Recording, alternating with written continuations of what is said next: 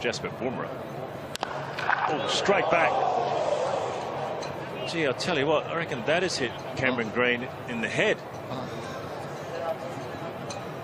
But it's on the uh, middle of the bat. Oh, yeah, that's He dropped the bat and ran to him straight away. Hmm. I don't reckon his hand got up there, actually. no. I think it's just missed.